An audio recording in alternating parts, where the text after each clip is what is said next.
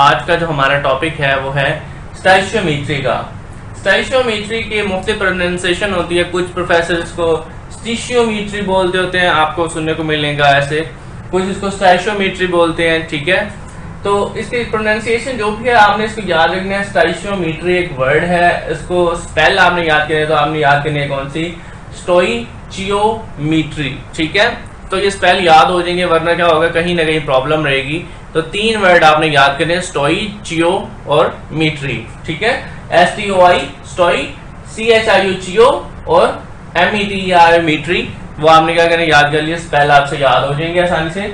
स्टोई, चियो, मीट्री, तीन करके आपने वर्ड याद कर लेने नेक्स्ट है इसका इंट्रोडक्शन इंट्रोडक्शन की अगर बात करें तो वहाँ पे क्या होता है ब्रांच है ये केमिस्ट्री की, जो क्या करती है हमें बताती है क्वांटिटेटिव रिलेशनशिप के, यानी कि क्वांटिफाई करती है कि बताती है कितनी क्वांटिटी है मास बताती है ग्राम बताती है क्वांटिटी बताती है।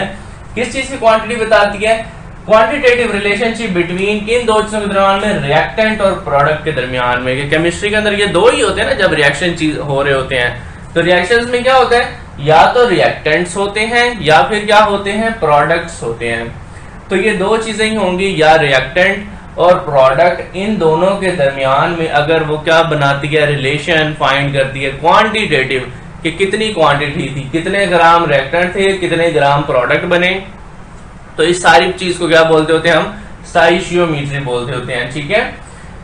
किस चीज़ में? इन बैलेंस्ड केमिकल इक्वेशन के। ये जो ब्रांच है, ये कहती है कि रिएक्शन करवाने की ज़रूरत नहीं है। कि अगर हमने किसी चीज़ को परफॉर्म करना है, उसके परफॉर्म के बजाय क्या करें? जस्ट मैथ की कैलकुलेशन लगाएँ और आपका आंसर निकल आएगा कि इसमें कितने ग्राम रिएक्टेंट रिएक्ट करवाएँ तो कितने ग्राम प्रोडक्ट बनेगी? हमें खुद ही पता चलेगा। हमें एक्चुअल इतने ग्राम रिएक्टेंट को रिएक्ट करवाने की ज़रूरत ही नहीं होगी। बल्कि सिर्फ़ क्या कहेंगे? अगर हम अज्यूम करेंगे अगर इतने ग्राम रिएक्टेंट थे तो इतने ग्राम प्रोडक्ट बनेगी। एक किस्म का ये केमिस्ट्री की मैथ वाला हिस्सा है बड़ा। जैसे मैथ में हम कहते हैं कि अगर हमारे पास इतने ग्राम कोई चीज़ है, उसको आगे हमने कन्वर्ट करना तो मुख्तलिफ़ कन्वर्जन उस पर लगाते हैं। सेम यहाँ पे वो मैथ इस्तेमाल करेंगे हम। अब यहाँ पे क्या होता है, दो केमिस्ट्री के जो मेन लॉ थे, जो हमने पहले, शुरू में पढ़े थे, पहले लेक्चर के अंदर, के दो लॉ थे हमारे पास law of conservation of mass law of definite proportion की जो केमिस्ट्री की बेस है बड़ी के जो मेन केमिस्ट्री जितने भी रिएक्शन होते हैं, कोई भी चीज़ होती है, किसी किस्म का भी केमिकल चेंज होगा, वो इन दो लॉ को लाजमी फॉलो करेगा। तो सेम यहाँ पे भी बैलेंस केमिकल इक्वेशन जब बनाएँगे तो केमिकल इक्वेशन जब बैलेंस्ड होगी तो उसमें ये दो लॉ को फॉलो लाजमी करवाएँगे। ठीक है? तो यहाँ पे अगर क्वेश्चन बनता है ये सारे शॉर्ट क्वेश्चन मैंने मेंशन किए हैं, बहुत मशहूर शॉर्ट क्वेश्चन बनते हैं कि व्हाट इज़ स्टाइशोमेट्री वो कौन कौन से दो law what which two laws are obeyed in जिसके अंदर स्टाइशोमेट्री कैलकुलेशन के अंदर?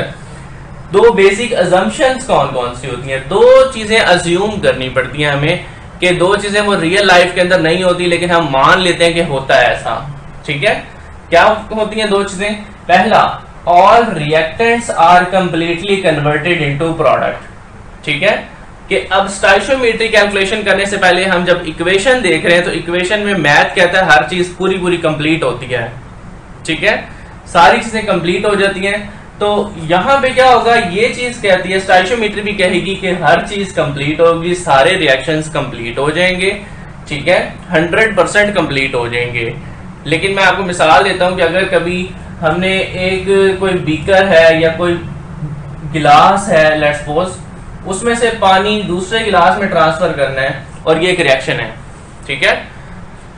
हम यहाँ से ट्रांसफ़र कर दें तो क्या सारा पानी इधर ट्रांसफ़र हो जाएगा? इस गिलास में से निकाल के पानी को किस गिलास में किया? इस गिलास में हमने ट्रांसफ़र किया। तो क्या सारा पानी ट्रांसफ़र हो जाएगा? सारा हो जाएगा, लेकिन कैसे होगा? उसमें आपने देखा होगा कि कुछ फ्यू ड्रॉप्स यहाँ पे रह जाते होते हैं, इस गिलास के अंदर, ठीक है?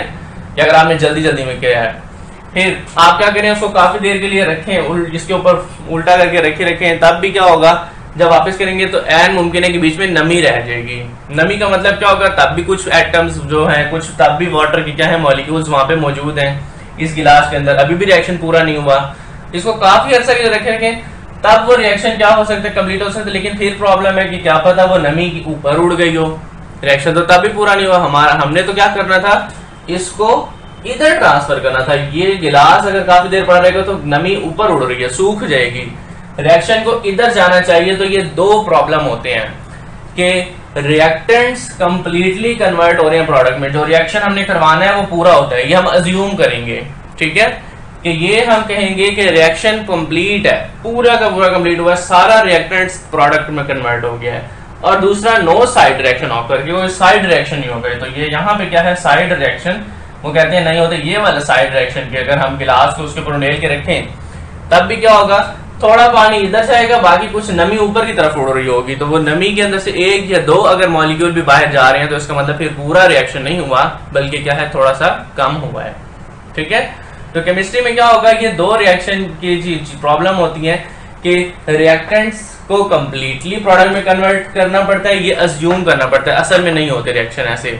थोड़ी सी अमाउंट बच जाती है। और नो साइड रिएक्शन ऑकर की साइड रिएक्शन भी कभी होते हैं मोस्ट केसेस के अंदर, लेकिन यहाँ पे हम अज्यूम करेंगे कि साइड रिएक्शन भी नहीं होंगे।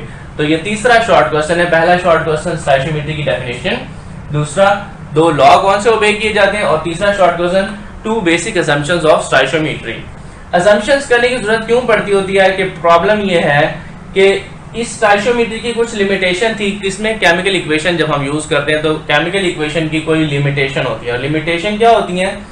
Chemical equation does not tell about the conditions or rate of reaction. Conditions के बारे में हमें नहीं बताती। अब क्या होगा कि हमने वो कम टेम्परेचर पे करेंगे तो रिएक्शन हो सकता होगा, ज़्यादा पे करेंगे तो नहीं होगा, या किसी और तरीके से हो जाएगा। तो फिर ये कैलकुलेशन में प्रॉब्लम होगा, हम कुछ कैलकुलेशन करेंगे और अगर टेम्परेचर साथ काउंट ना किया गया तो फिर क्या होगा?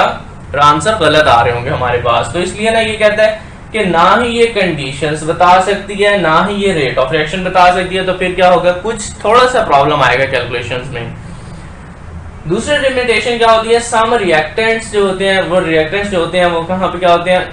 ऑफ़ केमिकल इक्वेशन जो कुछ रिएक्शन ऐसे हैं कि कुछ रिएक्शन ऐसे होंगे कि वो जो प्रोसीड ही नहीं होंगे, कि इक्वेशंस तो लिखे जा सकती होती है उनके बारे में कि ऐसे ऐसे रिएक्शन होगा। लेकिन जब रियल लाइफ में परफॉर्म करते हैं तो पता चलता है ऐसा रिएक्शन पॉसिबल ही नहीं है। ठीक है? वो कंपाउंड्स में ये जो रिएक्टेंट्स होते हैं वो स्टेबल इतने होते हैं कि वो एक दूसरे के साथ रिएक्ट ही नहीं करते। ठीक? तो इसलिए यहाँ पे क्या होगा, ये दो लिमिटेशन होती है कि केमिकल इक्वेशन क्या करती है? कंडीशंस और रिएक्शन के रेट के बारे में नहीं बताती। और दूसरा, वो क्या होता है कि इक्वेशन हमें क्या करती है कि ऐसे रिएक्शन भी लिखे हुए मिल जाते हैं कि जो रियल लाइफ में परफॉर्म नहीं होते तो हम उसको साबित कैसे करेंगे रियल लाइफ में परफॉर्म करके? ठीक है? तो ये आपके चार क्वेश्चन भी, अगर ये चौथा क्वेश्चन बनाना चाहे तो ये चौथा बन जाता होता है क्वेश्चन कि पहला डेफिनेशन बहुत जो हमने दो लॉ ऑब्ज़र्व करने होते हैं, दो असम्पशंस कौन कौन सी होती हैं, और साथ क्या है कि उसकी लिमिटेशंस क्या क्या होती हैं। इधर आते हैं तो हमारे पास क्या है बड़ा कौन कौन सी कैलकुलेशंस होती हैं जो हम स्टाइशोमीट्री से निकाल सकते होते हैं? कैसे निकाल सकते होते हैं? इधर इस हाथ पे क्या लिखते होते हैं? हम जब कभी केमिकल इक्वेशन लिखते हैं, ऐसे लिखते होते हैं ना, यहाँ पे होते हैं रिएक्टेंट होते हैं रिएक्शन करके वो क्या बनाते होते हैं? प्रोडक्ट बनाते होते हैं, ठीक है? तो मैंने ये भी यहाँ पे जो चीज़ें लिखी हुई हैं, जो इस हाथ पे लिखे हुए वो रिएक्टेंट्स के बारे में बताया हुआ है। जो उस हाथ पे चीज़ लिखी हुई है, वो क्या है? प्रोडक्ट के बारे में। तो हम कहेंगे, ये तीन रिलेशन बताती है स्टाइशोमेट्री कैलकुलेशन करने में। कौन कौन से? मास मास रिलेशनशिप क्या मतलब कि अगर हमें रिएक्टेंट का मास पता हो, ठीक है? तो हम क्या कर सकते हैं? प्रोडक्ट का मास फाइंड कर सकते हैं कि आगे कितनी प्रोडक्ट बनेगी। अगर मैं कहूँ दस ग्राम में एक चीज़ को रिएक्ट करवा रहा हूँ तो मुझे पता होगा आगे कितने ग्राम प्रोडक्ट उससे बनेगी। मास मोल रिलेशनशिप मास मोल रिलेशनशिप में क्या होगा कि हम अगर मास पता कर लें किस चीज़ का रिएक्टेंट्स का हमें पता हो, हम अज्यूम कर लें क्वेश्चन में कि अगर मैं इतना रिएक्ट करवाऊं मास तो मुझे मोल पता चल जाएँगे किसके प्रोडक्ट के। और अगर क्या वो मास और वॉल्यूम में कन्वर्शन करनी हो तो अगर मुझे रिएक्टेंट का मास पता है तो मैं प्रोडक्ट का वॉल्यूम फाइंड कर सकता हूँ। इनको रिवर्स भी कर सकते होते हैं। कैसे? रिवर्स कैसे कर सकते होते हैं? अगर मुझे मास पता है प्रोडक्ट का तो मास रिएक्टेंट का भी फाइंड हो सकता होता है। रिवर्स भी कर सकते हैं इसको। मोल पता हो तो मास भी फाइंड हो सकता है। तो इसको बुक में देखे तो इसको दो तरीके से लिखा हुआ है इस वाले पोर्शन को। कैसे लिखा हुआ है? मास मोल रिलेशनशिप और फिर आगे लिखा हुआ है, और मोल मास रिलेशनशिप के ये रिवर्स भी होता है। उलट भी कैलकुलेशन कर सकते होते हैं। मास मास रिलेशनशिप को मैं उलट लिखने में सही तो कोई फ़र्क नहीं पड़ेगा, इसलिए एक बार लिखा हुआ बुक में। मास वॉल्यूम को भी लिखा हुआ है और फिर वॉल्यूम मास भी कर सकते होते हैं, लेकिन वो ज़्यादा कॉम्प्लेक्स एग्ज़ाम्पल है बुक के अंदर वो कैलकुलेशन नहीं दी हुई, इसलिए उन्होंने मेंशन नहीं किया वहाँ। ठीक है? जो बुक में आपने आगे सॉल्व करनी होगी कि अभी आपको अगर इस पर थोड़ी कंफ्यूजन हो रही हो कि ये मास मास रिलेशन का क्या मतलब है मास मोल रिलेशन का क्या मतलब है, आगे हम जब एग्ज़ाम्पल सॉल्व करेंगे, उस एग्ज़ाम्पल में क्लियर हो जाएगा कि मास मास रिलेशनशिप क्या होता है मास मोल रिलेशनशिप क्या होता है? तो ये दो आपकी मोस्ट इंपॉर्टेंट है जो आपके सिलेबस के अंदर कैलकुलेशन आपने यूज़ करनी है। न्यूमेरिकल टाइप क्वेश्चन बन सकता होता है। ठीक है?